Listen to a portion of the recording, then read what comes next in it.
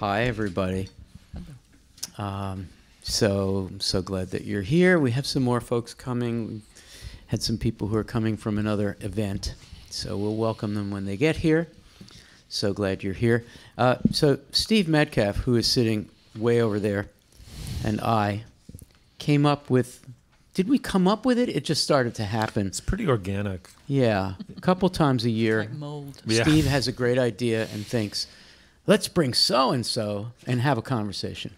Now, I should be just holding the mic and saying, welcome to the writer's house and off with the show, you know, or on with the show anyway, Off with not off.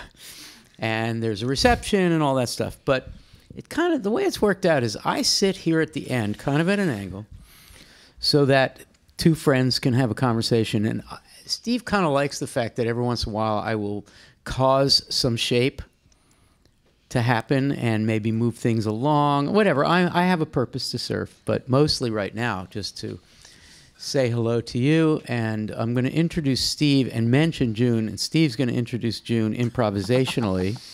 He's looking at Like, me like, everything that you do. And then we're going to have a conversation that's well it's about podcasting and these two people to my right know an awful lot about podcasting um, but it'll be let's say podcasting plus 'cause there'll be all kinds of things happening right june Oh, yes Definitely. okay so uh, steve metcalf uh, uh, is, is slate's uh, are you like a writer at large what are you called I'm no, I'm nothing. I mean, I'm just the the host of the Culture Podcast. and for the host. How many of you have ever heard Slate's Culture Gab Fest, which is a weekly thing? Everybody in this room. Oh, Oh, that's that's, cool. Mary, what do you think?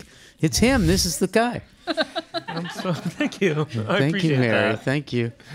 Um, and uh, he's a, uh, just a brilliant uh, writer and teacher, and he has taught here actually some years back. And uh, I think the way we met is I listened to the Gabfest and I had some criticisms. So I got in touch. No, maybe not. But I got in touch with you and and we got together and we you've been coming to the writers house ever since which is great. And and june thomas i said to you earlier that i'm a fanboy of everything that you have done. Um, and uh, as you'll find out june is in charge of all of the whole suite of slate podcasts which is quite a lot. And we know, we know, people in this audience know that podcasting is, we're all a little obsessed with it uh, here, and we're really eager to hear what the two of you have to say about it. And so we'll do that for a, a, a while. We'll probably, the whole, the whole session will end maybe about at about seven or five after seven, and then we have a really yummy reception with also some some wine, things to drink, and you'll have a chance to chat informally with these two.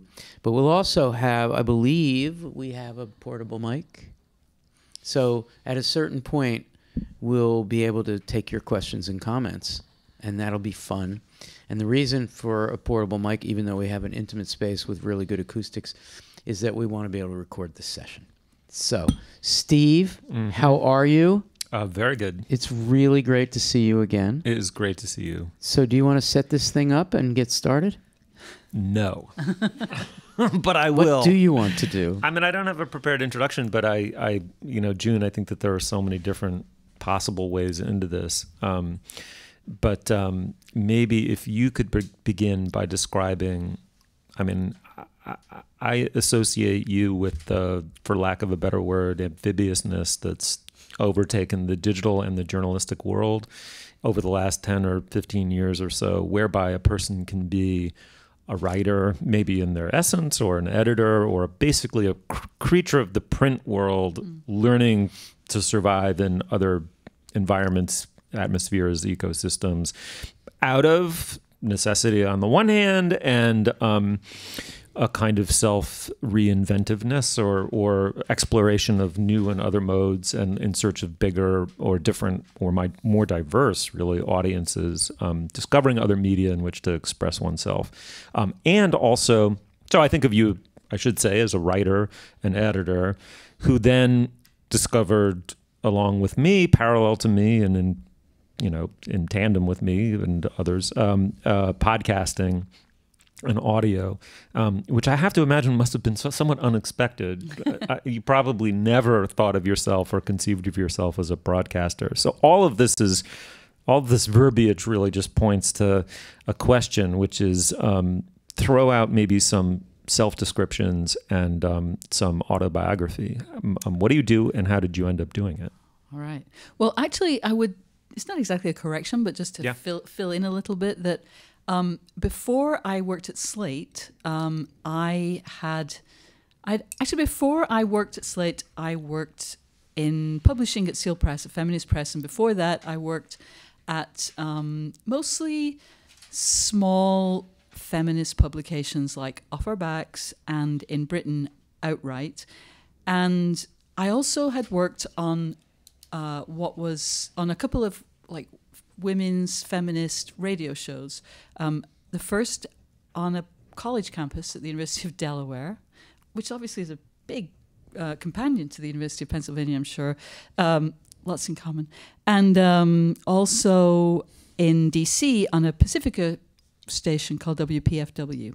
And so that was something that I did, you know, that was like my youth. That was like my, the thing that was my adventurous pre professional. This is the thing that I really like to do, but I don't imagine this will be um, my work.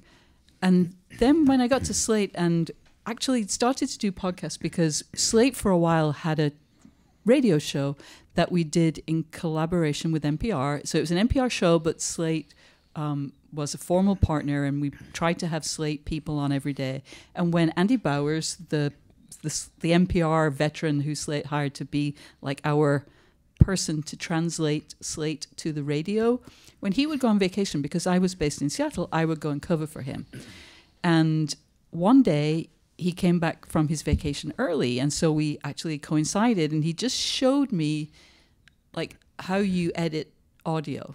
Like he literally just showed me the editor. He didn't do it, and, but I thought, oh, yeah, I think I, that seems really interesting. It just kind of reminded me of my time, you know, actually using uh, razor blades and sticky tape, and, and you know, it was, now we were in the digital era, and, and I'd kind of missed that transition, but um, it was an opportunity uh, to not have to choose anymore. You didn't have to choose between print or writing or editing. You could do writing and or editing and you could be a radio person. You could make wh- what we then thought of as radio. Now we see that it actually is um, has possibilities that are very difficult to take advantage of in radio but that you could be an audio journalist as well as a print journalist. Um, so that is my short background but then i also now i you know, honestly my role is quite um, uh, administrative. Like, I just make sure that shows have producers and people get paid. Like, it, it I don't want to exaggerate the, uh, you know, the creative, the creativity. Your status I- as the Harvey Weinstein Yeah. of Slate. No, no, the not. mogul. We all cower when June No, I'm- in the room. I'm more the middle manager slash accountant. well, let's we'll get there later. Right. There are many intriguing uh, Mm. byways we have to traverse first. So this person that you meet, Andy Bowers, has a super simple insight, Yeah. which is that audio on demand, that the digital distribution capacities of the internet mean that audio on demand is an inevitability. And a remarkable part of that story is, of course, from the vantage point of 2019, Andy Bowers was totally right. And and you would think any fool would have seen it as long as 20 years ago. But between Andy Bowers saying it, thinking it, saying it, promoting it to the brass at Slate, forging for himself an entirely new job and job title there, which was of podcasting or whatever it was, um, and uh, and starting up several podcasts, and the actual fruition in in a, in a in a viable business model turned out to be actually quite a. There was a long period there where people said of Slate and Andy Bowers. Oh, this is nonsense. This is silly. This is not going to. There's no revenue model here. This is just. Uh, why would you throw? You know, and a lot of people tried podcasts and failed at podcasts, um, which is one of the reasons why that kind of rhetoric really um, you started to hear quite quite frequently. So why do you think that it took as long as it did? Why did Slate stick with it, and why did how did Slate make it work when others were struggling with it? I think Slate stuck with it because it's an opinion magazine, which is, as we know, somewhat unusual in the US. In Britain, you know, a, things are a bit more porous of people expressing opinions and being reporters. But um, I think, you know, that's why the show that we did with NPR kind of didn't work because NPR wasn't really comfortable with mm-hmm. opinion. Right. And, and, that was day to day, was that Yeah, day to day. Um, and it just it's their culture. I mean, it's it's not a crazy thing that they were uncomfortable. Like that's eh, that's that's how they're set up. But we were set up to be stating opinions, and so the people who were on staff, even though they may never have you know sat in front of a microphone, they were really good at expressing opinions, and they enjoyed it, and they enjoyed it, and they loved. I mean, one as you know very well, one of Andy's key insights was you got to argue with each other. The you got to take issue. Right and they loved arguing. Got a shock, you know. And so I think people really, really liked doing it, and that's why people at Slate didn't give up on it. Is because they didn't want to. Right, right. So I think you're you're you're moving us toward a very interesting distinction, which is on the one hand. Yes, you could take pre-existing NPR shows, you could package them as podcasts, and the difference was simply the mode of delivery and the on-demand, you know, uh, What's that? Osity, the on-demand osity of it. Osity, yeah, yeah exactly, yeah. exactly. The on-demand osity of it. Um, the sheer convenience of being able to choose what you listen to and when, like ho- not hostage to turning on the radio and you're in your car and you're just trapped with whatever NPR or otherwise show you might find. But there's another aspect, which is in fact that's not really what podcasting is. And when you say podcasting, it doesn't connote just listening to This American Life at your convenience. It means something else, a variety of other yeah. things. But yeah. talk about maybe what some of those are. I mean, you've started already. Yeah. Opinionated and slightly shameless uh, blabbermouth journalists right. around a microphone. It's also right. cheap, right? Yeah, yeah, absolutely. Uh, no, yeah. I mean, and, and I think that was that was the the original Slate mode. You know, the political gabfest, the culture gabfest, audio book club. Mm-hmm. Uh, you know, and then the sports chat show, hang up and listen um, spoiler specials, which we which are I see Sam Adams who often is on Slate spoiler mm-hmm. specials, um, which is when it's another Andy Bowers insight that if you have if you can listen to this audio on demand, well, one of those on demand times might be after you've just seen a movie, mm-hmm. and that's when you're leaving the cinema and you're like, what was that at the end? That, that made no sense. To be actually, maybe you can't be in that conversation, but you can hear other people having that conversation about that twist was crazy, right? No, it wasn't crazy. It was completely justified by that thing that. And so that was another key insight. And so those, that they were smart people having interesting conversations, but they were also casual mm-hmm. because obviously there have been chat shows forever. Um, but the idea, again, uh, just to give Andy his 99th uh, uh, mention, it was the idea, you know, we're all familiar maybe with the Sunday morning TV chat shows where journalists get together and they talk about what's happened in the news. But Andy's key insight was, well, what about after they've left mm, the studio mm-hmm. and they you know the cameras are off maybe they've had a drink. That's not totally necessary but they're just like they're being themselves. They're not putting on their okay i'm on television i'm all uptight and i'm going to give you my three points it's like what they really think. Mm-hmm.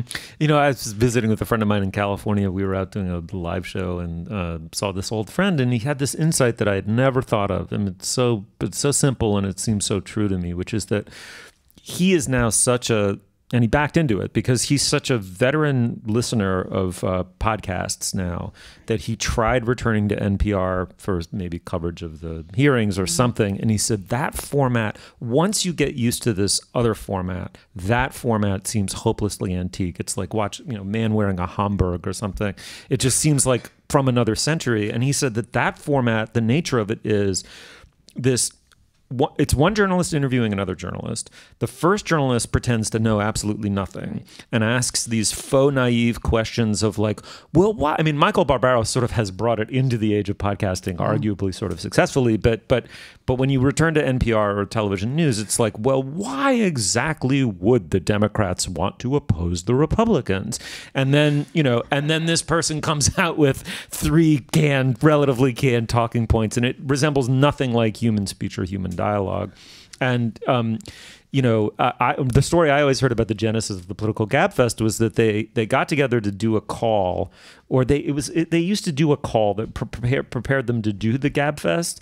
And Andy was like, no, no, no, no, no, the call is the gabfest. The, Right. th- the three of you shitting around, saying what you really think, and in a completely like peer peer to peer um, style of self presentation. That's what the show should be, and that from that insight came an empire. Yes, and actually, that's a really interesting. Um, I don't know. If th- I don't believe this is just Slate, but it's very much a Slate kind of mood that you prepare. You know, one of the things that I think is people think that you just go into the studio and you just ta- start talking. Uh, actually, you have to do a lot of reading. You have to do a lot of thinking. You have to know what you're talking about. You have to think it through. But you never start the conversation before the mic. Um, you know, you have your conversation inside your own head, but you never start sharing your thoughts with the other hosts until the microphones are turned on because you don't. Again, that would sound like it would sound scripted. It would sound um, like you're saying something you've already said six times, which certainly happens on some podcasts. I mean, there are certainly podcasts where you know they have had that exchange about 25, maybe 50, maybe 100 times, and they just pick one. But that is not the kind of podcasts, um, until recently anyway, that Slate has made. Right. And we'll get to other kinds of podcasts. You guys uh, had a huge success with Slow Burn, which is, of course, on a different model of podcasting. And we'll get there in a second. But sticking for a little bit with the sort of Gabfest or chat or whatever format, um, uh, I, I am always struck by what you know, we were three people with a microphone, right? When we started the Culture Gab Fest, it was totally rinky dink. It was a, a th- three people microphone, a closet, and maybe someone was twiddling some kind of a dial. And we giggled and laughed at our the, our pretension, the fact that we mm-hmm. were like, and it, we sort of felt as though it was nonsense. Why would anyone listen to this? And over time, you begin to uh, the medium begins to develop. And it's odd to be it's odd to be part of a medium that doesn't really exist, mm-hmm. right? And you are discovering what it is by making it yourself to some degree, and and part of that is well, who's listening? How are they listening? And you know, and why? And you know what what are they likely to respond to and not respond to? And over time, it just became evident that on our end, it was a performed conversation, and the sweet spot was actually kind of small, right? Between over and under preparation, between just bullshitting and the seat of your pants, eh, but also Between between talking points and right and, pre- and being pretending to be uh, d- in disagreement and actually fighting.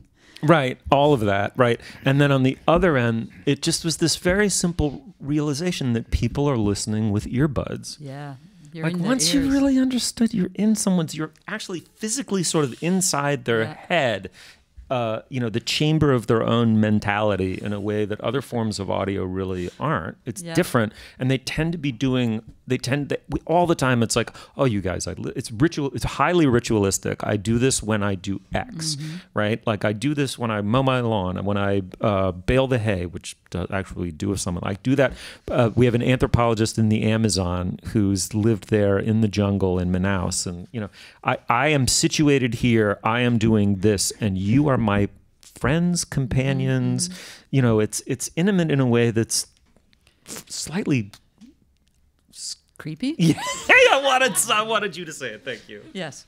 Um, yeah, I mean that I, I agree completely, and I also there is something about the fact that you're offering people an an alternative way of experiencing. Well, in our case, your magazine.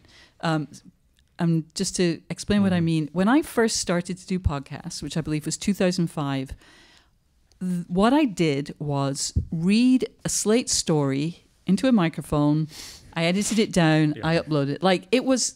Now you think, why would we be doing that? It was banal, but I then went once to an event, and all these people came up to me.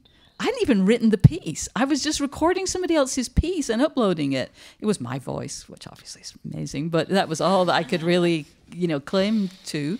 Um, and I was like, well, why, you know, what is so great about this? And they, what people said was, look, I don't have time to read the magazine. I don't have, you know, whatever. But what they did have was this this moment in their lives, which might be like when they're at the gym or when they're walking their dog or you know whatever it is. It doesn't really matter, but it's an opportunity that they like. I can squeeze this in, and I can, I can get pleasure or information or whatever it is. Mm-hmm. And so I think it's a combination of which I guess basically amounts to convenience, but just just feeling that this is something they can do, that there's this sense of possibility, um, which kind of elevates it from just convenience or intimacy to something that you can choose. You, mm-hmm. can, you know that you, as you say, you're not just turning on the radio and what's on. Like, my God, I'm looking in. There's so many things I could choose, and I might make some bad choices, but I, I'm I'm in charge of this. Mm-hmm. And the the fact that companionability is such a big part of it, right? So there's also this other process of discovery whereby, well, first of all, if you're not a professional broadcaster, the alienating truth that your voice is being multiplied out in heads, you know, dog walking heads, right. earbutted dog walking heads out in the world, and people have very deep feelings about who you are, your opinions. I mean, try try publicly disliking something that someone loves or cherishes in the culture, the vitriol and the reaction is so intense. But but that's never happened to you. Never. No, no, no. June, people are all over June. But it's it, the um the it's it's this the the question of first of all the the the shock at how much of yourself you are revealing in just the timbre of your voice and your choice of words and your opinions. The um, the attempt to control what you are and aren't revealing about who you are personally and biographically. And what about you comes out in interacting with this same set of people on a weekly mm-hmm. basis year after year after year? And then how that enters into the psychodrama of your listeners. It was just all brand new not only because we had never been broadcasters but because podcasting and this this degree of intimacy and companionability was really a new thing. Yeah and uh, you can grab the microphone from me if you like steve but like there are some writers who when they do squeeze those words out those words are magnificent but might find it easier to express themselves by every week going into a room mm-hmm. and sitting in front of a mic and just talking and that you know the whatever challenges they might have of um, you know filing their copy or you know blah blah blah like this is something that they have an amazing skill and gift and facility for and uh, that's pretty cool mm-hmm.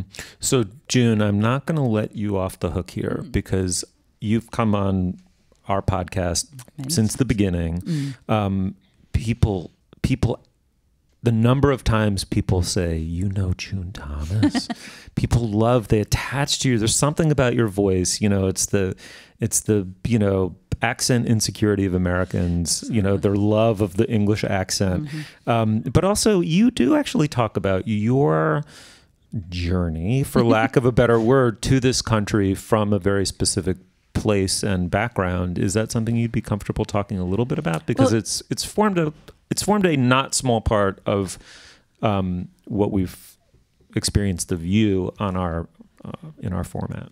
I mean, I am I am very sherry, so there there is that. But um, uh, it's funny because I um, I know recently uh, I can't. Oh, I think I guess two cultural phenomena caused me to share things about my you know my background, whatever my my journey.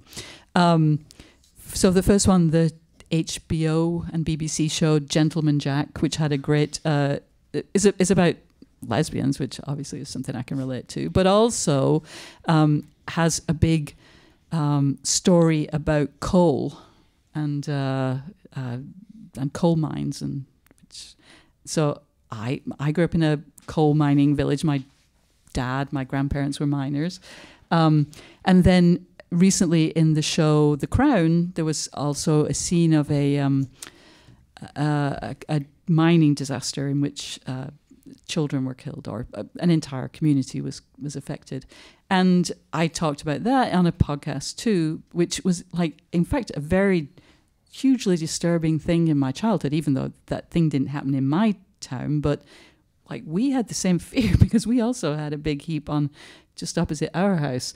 Um, and so I think when you, if you are willing to make personal connections, you don't always have to, you can actually share things that people don't necessarily always hear or you know they might still not be interested or they might still think oh god too much sharing mm. um, but uh, i do think that i know i want i don't necessarily always i don't want to be a poster child or anything like that but you know i think if people um, I, I do want to be the most famous lesbian coal mining town working class immigrant uh, podcaster sure well, you've bested me in that category, so.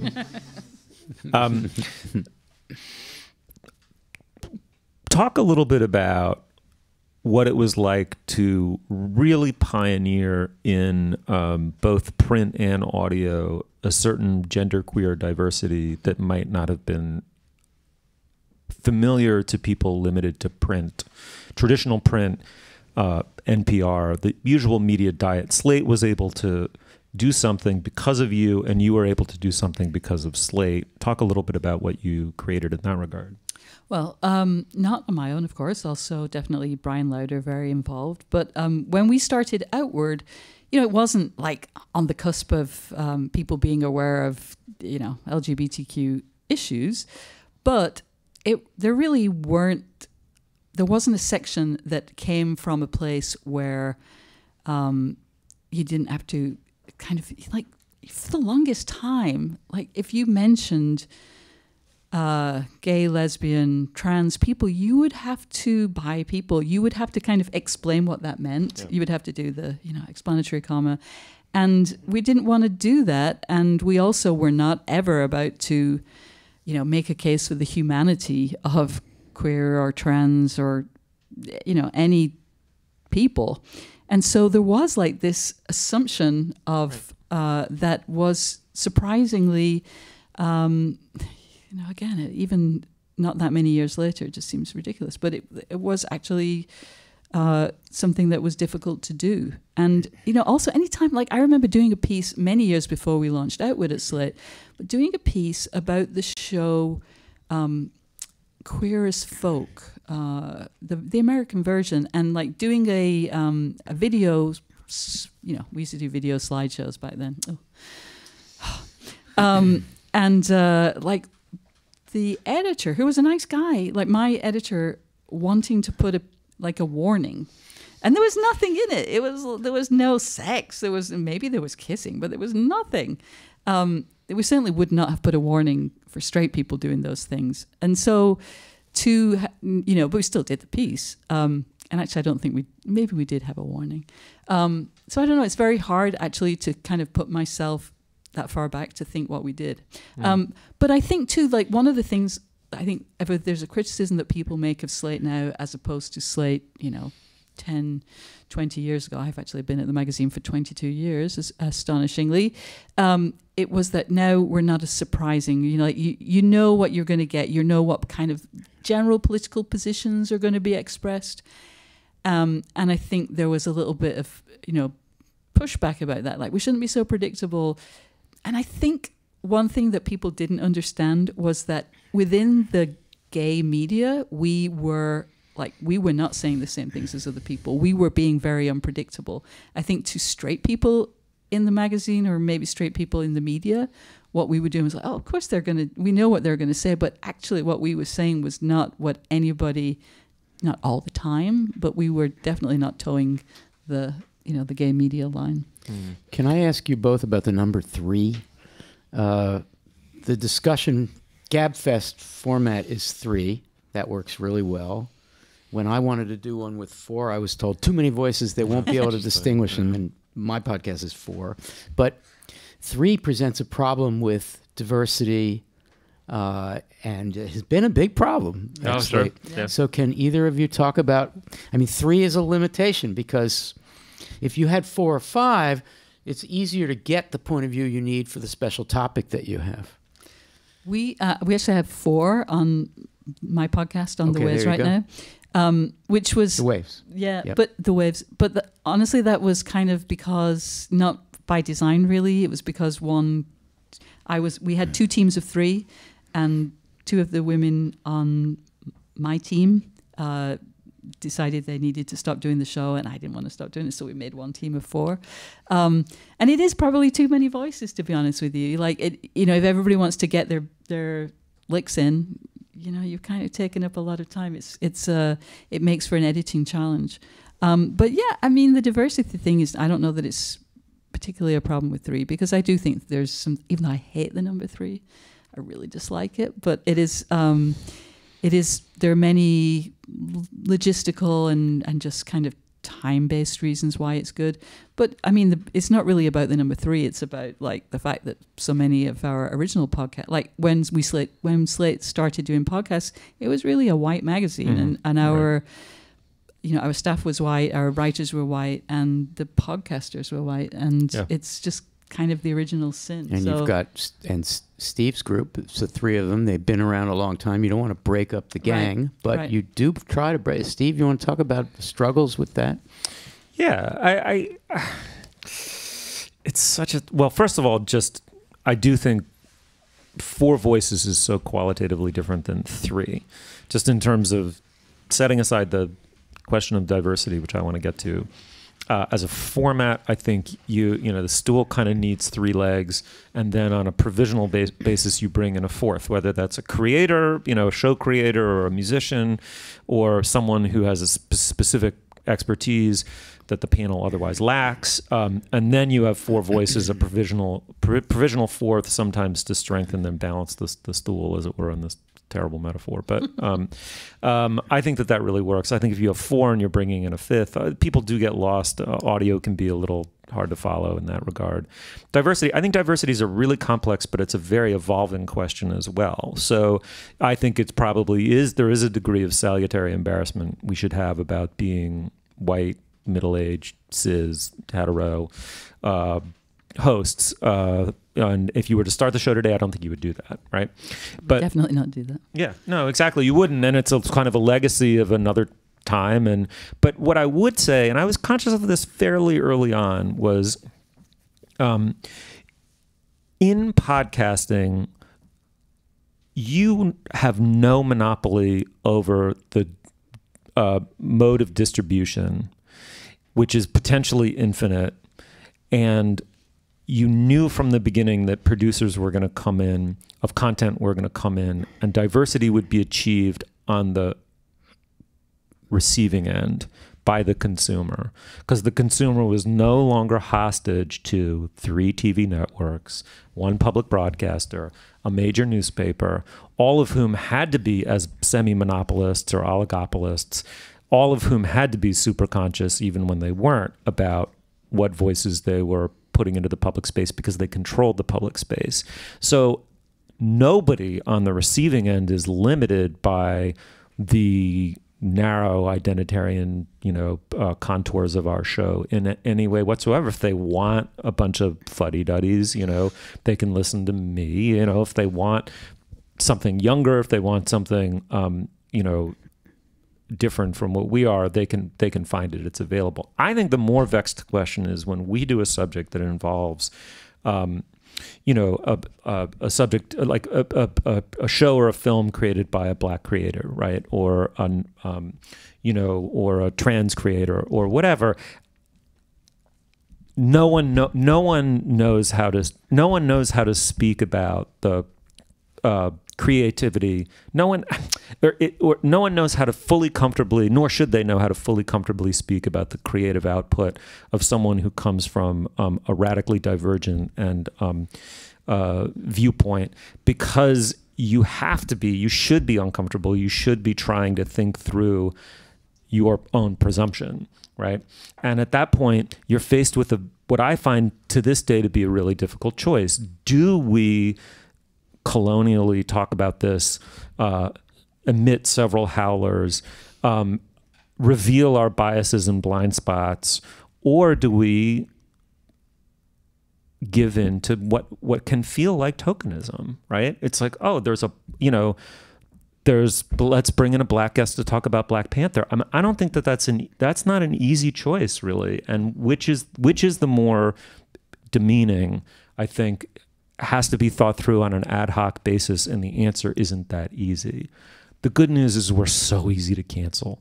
I mean, I, and I really mean that sincerely. I mean, you know, if you're if if someone is in a in a digital environment, if you are offended by something, you can you can unsubscribe. But to us, in terms of an actual operational dilemma, that to me is is really the hard one. The fact that we exist, I can't do much about at this point. But the choices that we make within that, I think, are Can I ask easy. June about the first point you made? The second point is a giant dilemma but a more obvious one. The first right. point you made, I believe, and tell me if I get this wrong, is that the heterodoxy of the distribution mode creates a general heterodoxy or heads that way, which is to say the traditional three networks, you know, the monopolistic uh, from on high, this is your only choice. The only way they can diversify is to diversify in uh, possibly tokenistic ways. Right. What you're saying is that podcasting has this has always had this opportunity because of the strange labyrinthine ways in which it gets to people, and people have lots and lots of choices. And that doesn't get you off the hook, but it's a quality of podcasting mm-hmm. that enables you to say, look, there's diversity in itself in being one of a hundred options you have, which are all free. And now so 300,000. And just to, very quickly, because this is a question for June, but the barrier to entry is low. Exactly. That's the other thing. It yeah. really requires right. a microphone and that and is in itself right. a gesture toward uh, economic diversity, right? The the ability of people to just put on a podcast means you don't have to be the only ones to create diverse voices. You, there's just a whole lot of options. Is that just an excuse, June, for not doing the second kind of diversifying? Is this legit? Uh, I mean, I do think those are two different questions. I mean, I, it does feel very important that there are so many options, and that there.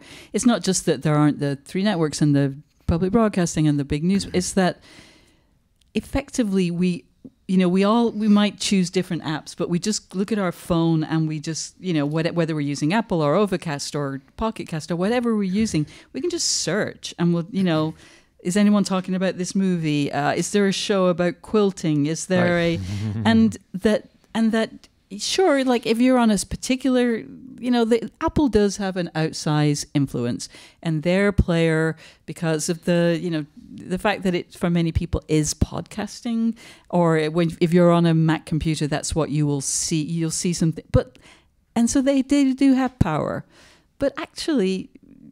And people spend money. It's not. It's. I don't want to, you know, be mm-hmm. too, um, whatever that word, Pollyanna-ish about it. But there there's there's more of a level playing field than in most parts of life and society. Um, I think if the question is is there a, uh, a, requ- a, requirement for diversity, then yes, the answer is yes, there is. But I also think that there's something there is something a bit different for about and for podcasting. I mean, there's there are many more. You know, the opportunities are endless. The you know, and also I listen to I you know I'm very interested in stationery, and there are lots of stationary podcasts. Like lots, lots. I mean, like more than ten that I listen to on a regular basis. And are one, you saying there are ten stationary podcasts yes, podcasts about, about stationery? Yeah, about pens and pencils and paper and and one of them, the biggest, yes, but like they've made more than three hundred episodes, and they have. Oh they have you know sponsors every week they have two or three sponsors every week like and you would just think well that's not possible. But if it is. It is because the possibilities are literally mm. endless. This is a revolution. This was a revolution. Yes. Right? Yeah, i mean I this think, is yeah. a big big thing. Yeah. And when you are walking around episodes. with your with your things in your ears and you you know you can go from the bbc to npr to slate to you know a person in their basement to uh, you know, uh, and there's it's all the same. It's all the same, and you don't need to pay a license, and you don't need to like you, you have to have a phone, but Mhm. um, and some data. But oh, relatively speaking, it's it's it's very flat. However, Mm. there's a new model, which is not three blokes and a microphone. It's um, you know m- much more highly produced, narrative based uh, podcasting. And um, is it fair to say that Slate might have lagged this just a tiny bit, but then caught up very quickly with Slow Burn, which was just a huge hit? Maybe talk a little bit about the genesis of that and like what it's like to get into this new business. Yeah, I mean, I think because we did have a hit with uh, the chat shows, and because we also then were able, because um, you know, partly we had good salespeople, and also like the industry matured. People realized um, that oh, people will listen. You know, that actually ads on podcasts are really effective because, especially the kind that we do at Slate, where like you know, I'll be talking about uh, you know whatever the show is, and then I'll say and I'll go into an ad pretty much seamlessly. And it's clearly an ad. Not, there's no deception going on, but um, and I'm delivering this ad, or you're maybe not you, but you know. uh, so it, it's actually a very desirable ad product. Um, uh, and uh, what was I talking about? Um, The advertisers Oh, right, so- figured out yeah, that the yeah. host So- so read we- is, is yeah. effective. so we were actually, you know, we were also doing quite well with those podcasts. And then, um, and I have to say that Slow Burn actually came through Slate Plus rather than through Slate Podcasts. So it that's our membership program, and that's a different revenue source. And they, you know, they were able to experiment because if we were late, it's because Slate has always been cheap, which is why we still uh, exist. Um, because those ty- kinds of podcasts cost a fortune because you need really smart people uh, working for a very long time. You know, it takes at least six months to make a show like Slow Burn with multiple people really working exclusively on that. Probably some people who are not there also working on sound design or mixing. Um, and it's and then you have six or eight episodes Mhm. and it's just not that many opportunities to to to monetize in the way that you know 52 for your show I know. Well, I was remiss. Also, I should say for those who do it. Does anyone listen to Slow Burn or has listened to Slow Burn? So I should have explained more what it was. But Slow Burn is essentially a was an incredibly gifted. I think of him as young Slate reporter Leon Neyfakh, who was sort of on the crime beat. Uh, for Slate and came up with this idea of retelling the story of Watergate, which people would maybe be interested in and new because of the analogy to the experiences we're all going through now with the Trump presidency. And additionally, as a generational story, I mean, someone like me can sort of recall dimly watching the Watergate hearings and somewhat lived through it as a pretty small kid. But there's a whole generation of, of listeners for whom Watergate is terra incognita or whatever the word is, like just totally unfamiliar and could be retold. And Leon's a natural storyteller. And you have tons of archival audio. Uh, he found a wonderful way in, which was what's her face being drugged Martha. and kidnapped. just an incredible story. And he unearthed these wonderful, juicy, unexpected anecdotes and just retold the Watergate thing, a story uh, in season one, and then retold the Monica Lewinsky um, uh, Clinton scandals in season two. Uh, and it was a massive hit. It was number one on iTunes and was must have been millions of downloads. You guys make some money on that? Because it was expensive to produce. Uh, yeah, over time, yeah. I mean, but also because it was done for Slate Plus, it's very. It was especially those first two seasons are very effective for, um, because, uh, in addition to the episodes that are free for everyone, there are also these extra episodes that give, you know, more information, bigger, uh, longer interviews, uh, different interviews, um, and so uh, you know, people like to sign. I mean, people like to support Slate if they like Slate, but you know, if you if you, know that they're also I'm going to get to hear this Mhm. thing, which are the you know that I'm really interested in because this show has got me interested in this topic. Um, but I think this season's we have a new host now and a uh, new production team.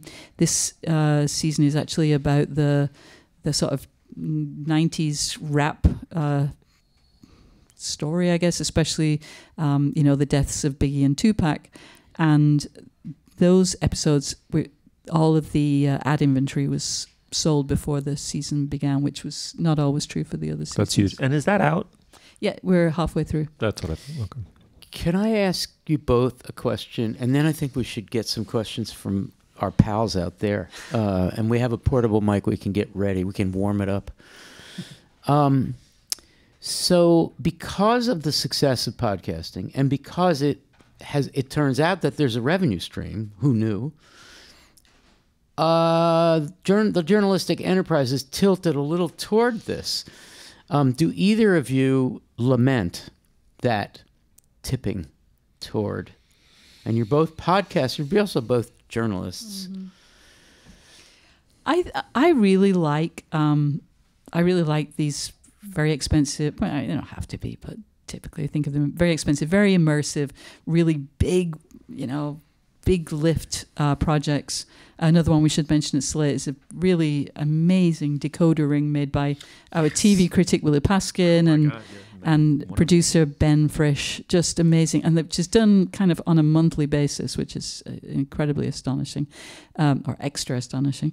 Um, but um, and you know now podcasts now are responsible for half of Slate's income, half of Slate's advertising income. Um, and it can't be a hobby anymore. It can't be like, you know, when I say hobby, that sounds a little demeaning, but, um, you know, essentially at the beginning, people had other jobs, and this was just like, I'm just going to take a few hours of my week and I'm going to do this because I really love it. Hobbies maybe a little cruel, but it, it's No, effectively what it was. A, it was a vanity project. Yeah, a vanity project, and you know, great many fun. Yeah, and it can't be that anymore. And I do, I know, I do feel a bit sad for that because you know, those were great. But it's very hard to launch a chat show now. There's just too many of them out there. There's, you know, the market's saturated, um, and th- that ship has sailed. Yeah.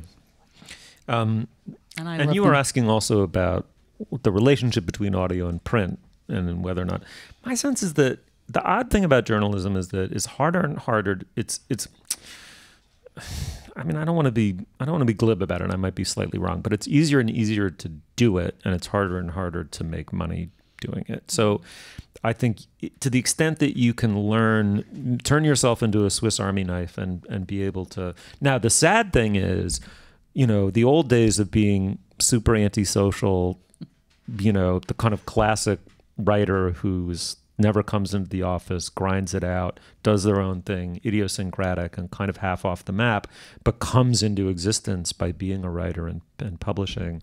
That person, I think, is going to struggle. Mm-hmm. I mean, you have to be mm-hmm. kind of comfortable in multiple formats, and whether that's a good thing, I doubt it. But Yeah. the fact that you might be able to keep some version of print alive by these diverse revenue streams is huge, I think. And there are really, I mean, not hard, but there are certain realities of podcasting.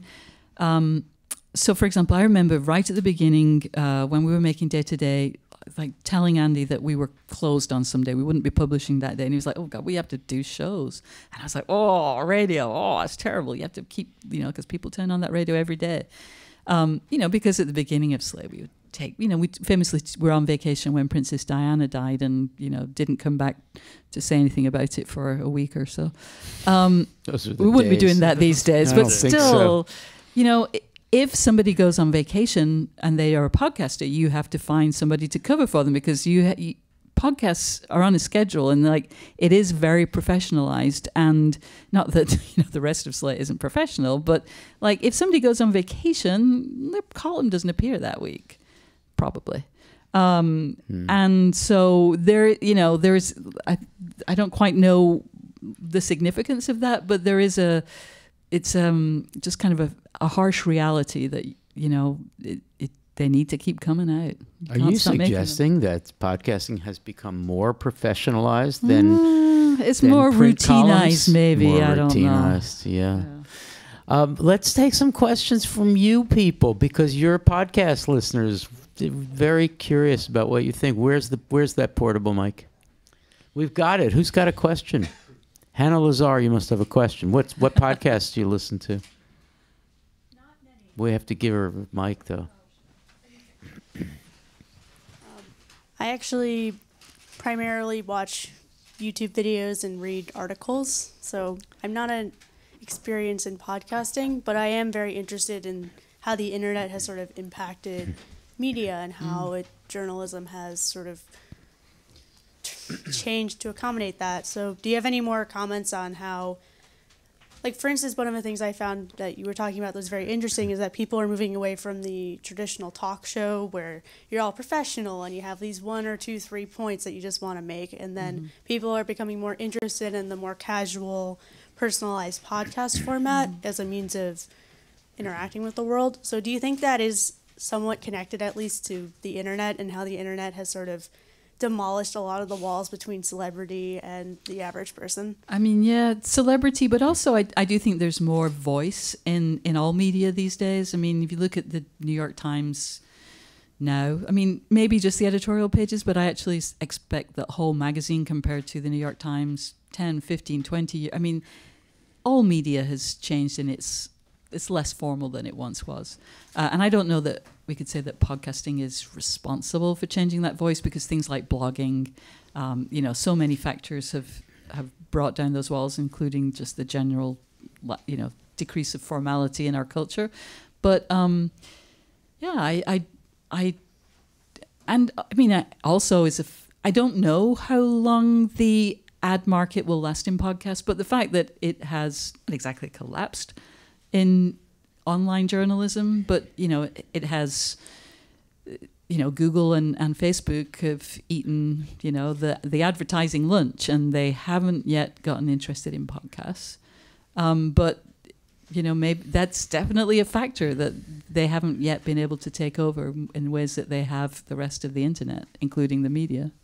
I, I just add a couple things really quickly. One is that the pace of change is always interesting because when we started our show 12 years ago and Political Gabfest a little bit before that, oh, we were so informal and we were unrestrained by any of the typical, you know, formalities of broadcast journalism. And, and now I put on a podcast that's two people under the age of 30 or 35 or, you know, 25 and it's I'm a dinosaur. I mean, I still because I grew up with legacy media. It's just in kind of my voice and self presentation, even my informality by their standards is starchy and absurd. Um, and then the other thing I would say is the the one thing to be Starchy and absurd. Yeah. That's you. I have- That's you That's his band name. Yeah, Yeah, that's his band name.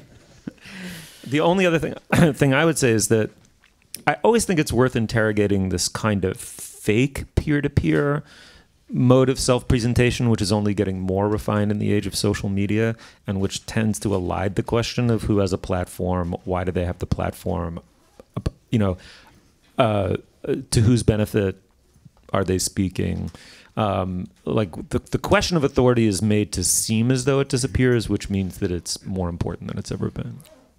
How about the fake informality that's in some of the? Well, oh, exactly. God, I can't stand it. Can I name one? Um, the daily NPR political. Yeah. Oh, I can't stand the way they do that. Just give me the news, right? Don't say, you know, ah, you have a cold. Don't, You know, don't josh around. Yeah. Yeah. Yeah. Don't, don't josh around. I, I, uh, yeah, absolutely. And It's you know, we can o- we can overdo it too. Like our yakking at the beginning, like maybe just cut that down a bit. Just a little informality. We don't have to go all like, and then what did you do? But with the with the Culture Gabfest, the the uh, we know these three people so well that it would really would be sad if they didn't, you know, do the usual, you know, Yeah. is the moment where- dysfunction. We love that dysfunctional relationship, and we want a little of it every time, right? A little. We will never deprive you of dysfunction, Al. I can promise you of that. Who else has got a question? We have time for a couple more. Briar up front. Do we have a microphone? Thank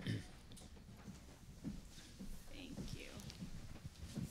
Um, it was really cool to hear you guys talk about like the emergence of podcasts and kind of being in the middle of something as it's emerging. I had a question about um, like paid podcast platforms, and I'm thinking of ones which are different from the sort of like subscriber benefits that you were talking about with Slate Plus, but um, like I became aware of this from I think it's called Anthem Hum- Homunculus, which is the Oh, John yeah. Cameron Mitchell, but and that is again like a much higher cost of production, but it's also on a platform where some of them are just sort of like talk shows, Yeah. but it's this paid platform, which seems to kind of contradict what you were saying earlier about like access, both for producer and consumer. So I was curious to. So the the main one of those these days is Luminary, which is Yeah. where that is, and it's also where our uh, former colleague Leon Neyfakh took uh, what was his his podcast is now called Fiasco, which is quite similar to. Uh, Did he jump ship? yeah, yeah. Um, and I mean, the thing is, that's basically a uh, what is that word? A VC, a VC, a VC. Yeah. A, a, um, I'm forgetting what VC stands for, but yeah. Venture capital. Venture capital, yeah. I mean, it's an attempt to disrupt this model that we are currently living in, um, and, and you know they gave people they gave production houses large sums of money. They really because they needed to get subscribers, they needed some big names. I it's too early to say how Yeah. that's doing. I tend to think, and maybe it is just wishful thinking, that there's so much really good stuff that you can get for free, and there's nothing that spectacular about their play. I mean, you can, as well as their premium products, you can also listen to any old. Po- you can listen to that Pen podcast on there too, but um, like there's nothing that great about it that you would Yeah. want to. So I, it's people have failed before by saying, "Oh, nobody will move away from this." Uh, you know, I remember saying that about the newspaper. Why would anybody go online to find what time the movie's playing? I know. Who goes to a movie anymore? Good God! But um, I just don't think that that's going to be a way. Um, but you know, if you were in that first round, that's not a bad place No. to be. That's for sure. That's what I was hoping you'd say. Yeah. Let's. Uh, we have time for one more question. Somebody way in the back. Yes. Hi. Hi guys. So I'm a senior here and I'm very interested in how different media outlets choose what they're going to talk about depending on whatever other push in the market they're having. So I was wondering in comparison to a traditional journalist in a 24-hour news cycle who by the idealistic version of what we think journalism should be needs to cover everything that's happening in the news which they're failing because twitter exists 24 hours now. Um, so i was wondering how you guys choose to talk about how do you guys choose the contents of your own podcasts in re- in relation and and in contrast to that? Uh, so this so the waves is now the the, the feminism slash gender slash uh, podcast that I'm on. We're now only every two weeks, And so for us, it's kind of a question of you know what are the big stories, what are the things that haven't been completely you know chewed over already. There's nothing new left to say. At the same time, sometimes something is so big that you have to be a little sort of egotistical and think our listeners will expect us to talk about this because this is the big subject and they're just waiting to hear what we say about it. Um, uh, and just you know t- the typical things of like some variety. So on the Waves we want to ha- you know and say it's ideal or we do it every week but generally speaking we'll have one culture topic one you know one outrage which is generally very easy to find and one um, you know maybe something light or uh, something will you know that won't be too too sort of depressing. And then we always um, have a question where we decide if something is sexist which shockingly it generally always is. Um, yeah, shocking.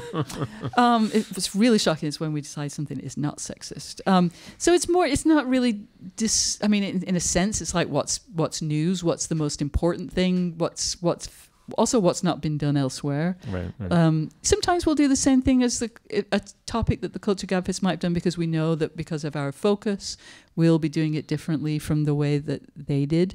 Um, but it's more, and also honestly, a big thing that I think is often forgotten about is, will do we really have anything to say, and do we each have something different to say? Because um, you know, especially because there are four of us. Um, you know, if we're just gonna all just repeat in our own varying and differing degrees of of uh, of smoothness, effectively express the same opinion, like that's just not good audio. So something that we'll disagree about too. Right. Also, I would just add that a lot of things in the culture come pre-said.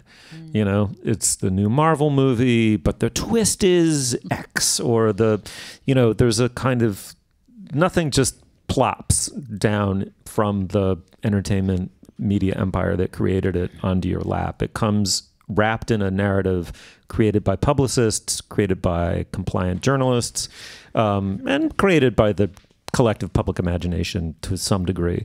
And for us, I think it's always can can we go against that grain in some sense? You know, everyone is already saying this. This is the kind of hype. This is where the hype is. You know, this is where the the narrative already exists surrounding this thing. Is there something original to say that unsettles that? I wonder if we could conclude with a question for each of you. Uh, it's a two part question in each case, so there are going to be four things, right? so, uh, the well, you can, you know, you can be succinct. Um, the uh, yeah, okay. June first, the um, biggest fuck up, uh, screw up, because the next one will be the most blissful moment, you know, where. And, and what's behind the second question about the greatest moment, you know, the great podcast moment that you've been part of, is this assumption on my part, which I hope you will affirm or deny if it's wrong, is that with the growth of the chat podcasts and the informality of it and the Andy Bowers idea that, you know, the conversation before the conversation is has come on a, a remarkable spontaneous articulateness in a lot of journalists which I don't think they were ever challenged to do quite so mm-hmm. much. And it is remarkable how how original, spontaneous, and surprising so much of the conversation is. And I think there's a great growth in that. It's been inspiring. So anyway, but first, the f- biggest fuck up. I, I I don't, I don't, I hope I'm not just, you know, pretending not to, pretending not to think of everything. But I would say my own personal thing. Um, I remember being on a podcast where we were talking about the election for the next um, mayor of New York after Mayor Bloomberg, and I was really sad because one of the candidates uh, was a lesbian, and it really pissed me off because always it happens that when it's the lesbian's turn, they decide we're going to do something different. We're going to go in a different direction this time. And I was really like, I was just so like, I was feeling really. And then afterward, maybe not right after the, we taped, realized, you know what? Maybe her position pro stop and frisk might Yeah. have been another reason that like it wasn't necessarily a bad thing that she didn't get elected.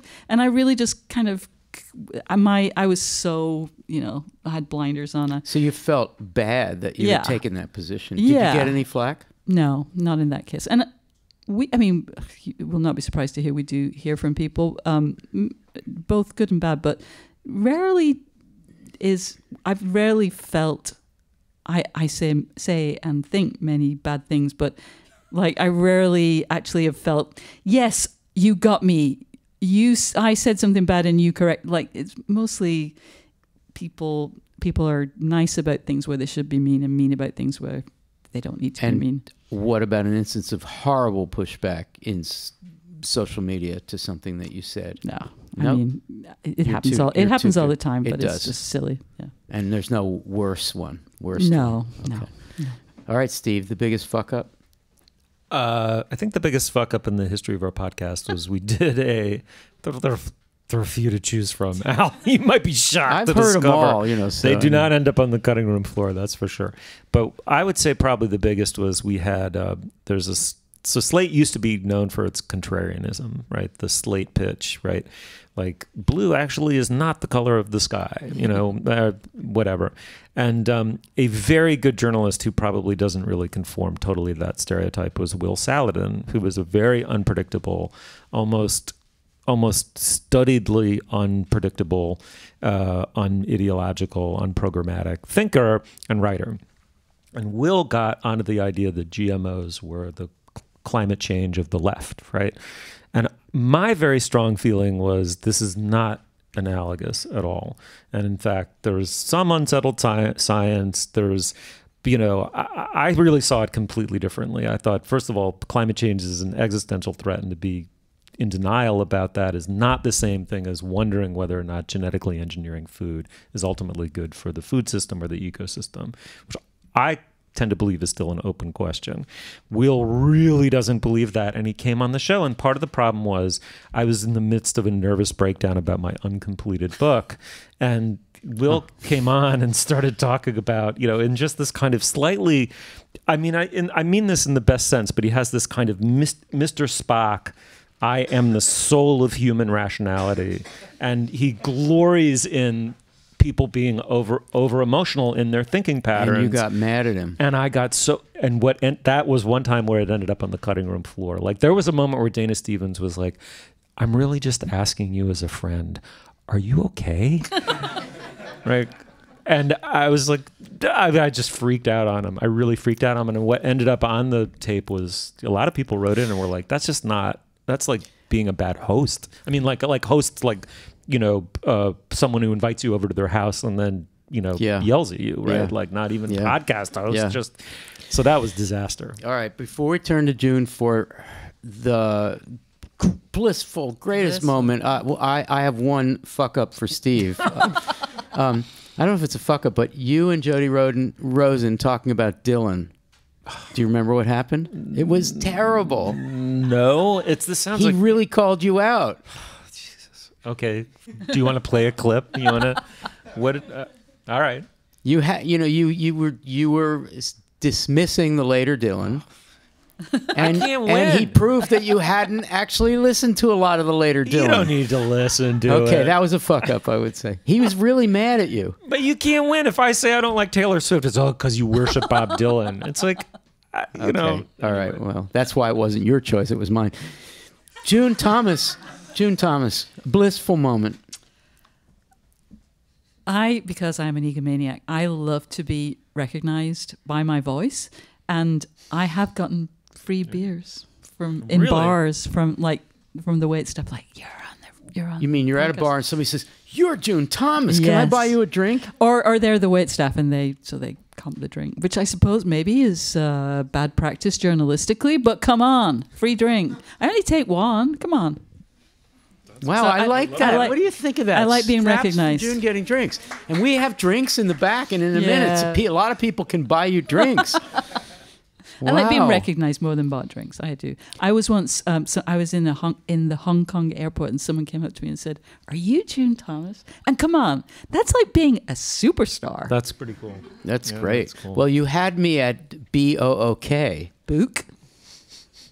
Book. Yeah, That's right, how you the word is said. that's- I don't know why people find that amusing. What is B O O T? Boot. So why is B O O K not boot? Come on, come on, people. Let's use some You have a logic good here. Okay. point there. I mean, Okay, yeah. but it's a it's a signature thing. It is. Steve, blissful moment, great moment. You Hmm. never felt better. I'm waiting to have one of those now. But, um, well, okay. I think this is it. I so I I used to do travel writing, or maybe still do a little bit, and twice, kind of semi coincidentally, I've ended up in Tasmania. and the way I describe Tasmania to people is, it's you know, it's a little island off the southeast coast, essentially of Australia. It's part of Australia.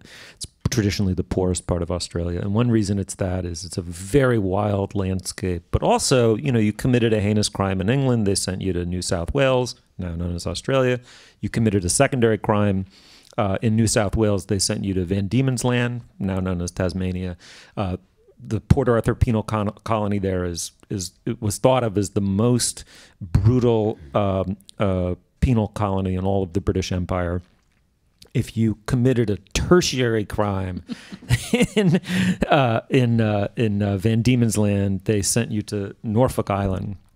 Norfolk Island is way out in the I guess South Pacific, and it's where the mutineers from the um, the Bounty ended up. Uh, after I think they went to the Pitcairns first, and then the, then a bunch of them went there, and so there are four um, surnames in the in the in Norfolk Island to this day uh, that are derived from the four main uh, um, um, mutiny mountaineers that ended up there, and it's just a, wi- a wild Edenic place, and I've never been. And on the show, I can't remember how this came up. I said, I said I've always wanted to go there, and I don't think I'm going to make it.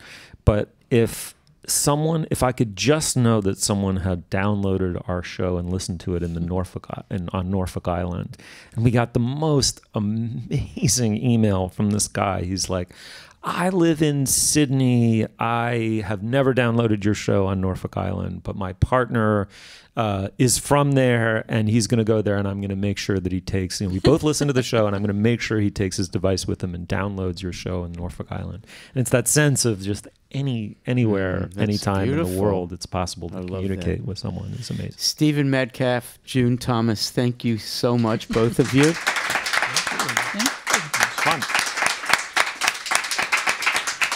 What fun. Thank you so much for joining us. We have a really yummy snack reception and some wine and maybe even beer, but I think definitely wine. Please hang around. These two people are so nice, and you can hang around with them and talk to them. One more time, let's thank them both. Thank you so much.